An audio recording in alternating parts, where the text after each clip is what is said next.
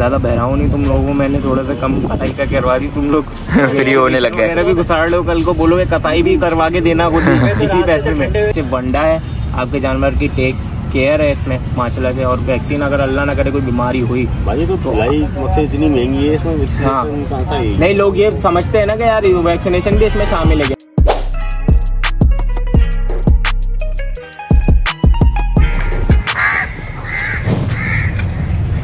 अस्सलाम वालेकुम दोस्तों। उम्मीद है कि आप सब खैरियत से होंगे। तो यार बुराक कैटी फार्म की वीडियो बनाई थी तो बहुत से लोग बोल रहे थे कि यार ये कहाँ है फार्म? लोकेशन बताओ इनके पास क्वालिटी कैसी है? आप ये चेक करो ये बच्चा नया इनके पास बनने के लिए आया हुआ है माशाल्लाह से।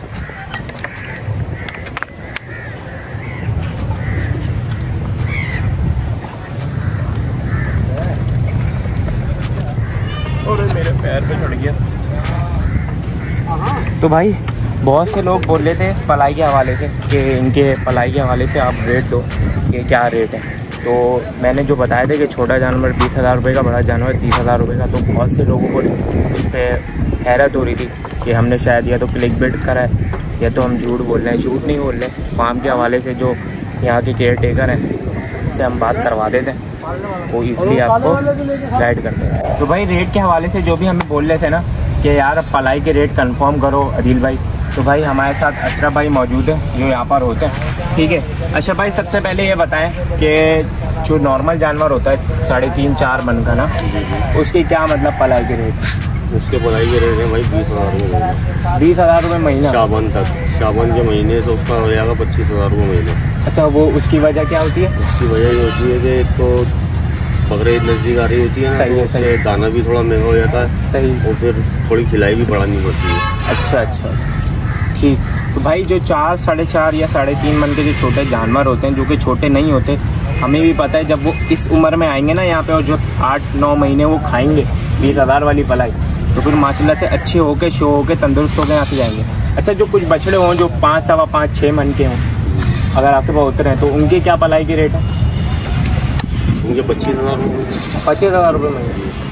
अच्छा ये बीस हज़ार और पच्चीस हज़ार जो आप ले रहे हो और जो कुछ फार्म्स हैं जो पैंतीस हज़ार चालीस हज़ार या कोई तीस हज़ार रुपये लेते हैं तो इसमें कोई फ़र्क है कि वो इतने ज़्यादा क्यों ले रहे हैं और आप इतना मुनासिब? एक बात बोल रहा हूँ। उनके नाम बढ़े अच्छा। तो उनके काम भी बढ़े भाई। सही बात है इंसान को जब नाम बनाना होता है तो कुछ चीज़ें सेक्रीफाइस करनी होती हैं। तो ये घबराना मत कि अगर ये थोड़े कम पैसे ले रहे हैं तो कोई अच्छा वंडा नहीं देंगे। बछड़े, आप देख रहे हो, माशाल्लाह से चीज़ें अच्छी हैं, शौक अच्छे हैं। तो भाई किसी वजह से बता रहे हैं एक्सपीरियंस है माशाल्लाह से। तो इन्होंने रेट दिया ना अभी पलाई के। तो उसमें एक चीज़ मेंशन करना हम भूल गए थे, वो है कि वैक्सीनेशन खुदा ना खास्ता, कोई ऐसी बीमारी आ गई, जैसे अभी लंपी आ गई थी, या कोई एक और भी वैक्सीनेशन होती है मुँह खोर वगैरह की तो वो आपके जिम्मे आती है ना। क्योंकि वैसे तो इतना कोई ज़्यादा है नहीं, मुश्किल से पंद्रह सौ, दो हज़ार रुपये की होगी एक वैक्सीनेशन लेकिन एक चीज़ ये होती है कि आपकी जब चीज़ होती है ना तो आप ख्याल रखना है खुद आते हो देखने आते हो गए यार ये फलाना फलाना इसमें इशू है।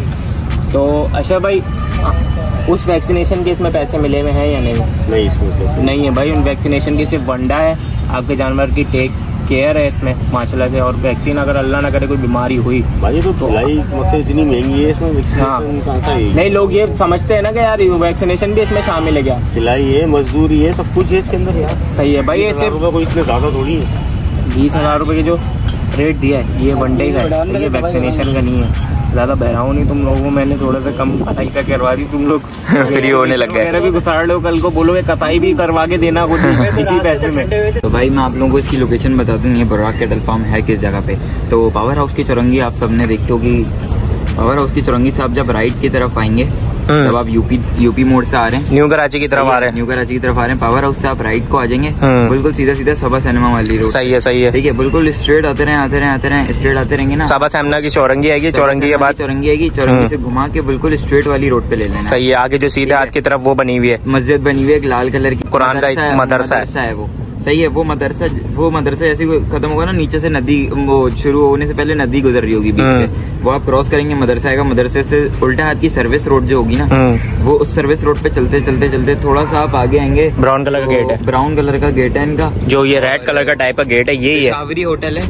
पेशावरी होटल है इसके अपोजिट पेशावरी होटल के बिल्कुल सामने इनका बाड़ा है ब्राउन और थोड़ा रस्टी कलर का कलर। इनका गेट है और ये कोई इसका यहाँ है। यहाँ पे अशरफ भाई होते हैं इधर एंट्रेंस इनको दिखा दो कि एंट्रेंस पे जो है वो इस तरीके का सिस्टम है। हाँ। और अंदर जाके फिर राइट हैंड पे आप जाएँगे तो आपको माल सारा नज़र आएगा। इनके पास बकरे वगैरह भी होते हैं लेकिन अभी हमने बकरों की इनसे कोई बात नहीं करी है। हम्म। इंशाल्लाह वो भी एक दिन इंशाल्लाह बकरों पे भी इनसे बात करेंगे। लोकेशन मैंने आप लोगों को बता दी है बहुत ही आसान है। अशरफ भाई यहाँ पे होते हैं कामरान भाई का माल भी यहीं होता है। ठीक है भाई तो कभी भी चक्कर लगा लो लगा लेना। और पलाई के हवाले से मैंने आपको रेडी ये फाइनल कर दी है। आप लोगों के सामने सबूत इतना बड़ा बैठा हुआ है। ठीक है दोस्तों, ये थी हमारी आज की वीडियो। मिलते हैं नेक्स्ट वीडियो में। चैनल पर नहीं हो तो सब्सक्राइब करना, बहुत सारा ख्याल रखना। अल्लाह